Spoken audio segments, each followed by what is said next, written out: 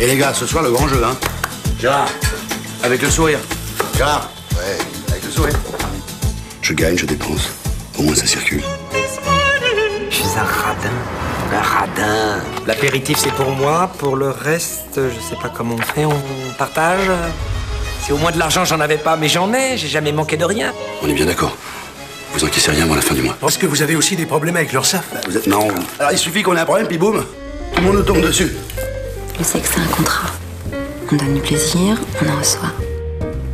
Vous êtes pas d'accord? Laurence, mais qu'est-ce que tu fais là? Je croyais que tu t'es fait virer. Putain, j'en étais sûr. On vit dans un monde de chiens, bordel. hein. Ça fait longtemps que vous avez des problèmes de constipation? J'emploierais pas le mot constipation. Je dirais que L'argent, c'est une question d'amour et d'exigence. Si on le respecte, on en fait ce qu'on veut. Si vous me prêtez 60 000 euros, je vous jure, vous le regretterez pas. Ça vous fait mal que je vous prenne cet argent c'est pas du tout une question d'argent, c'est une question de principe. J'arrive pas à économiser.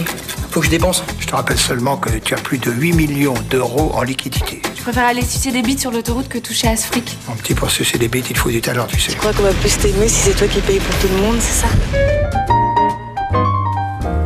Je vais vous caresser Combien ça va me coûter? Le maximum.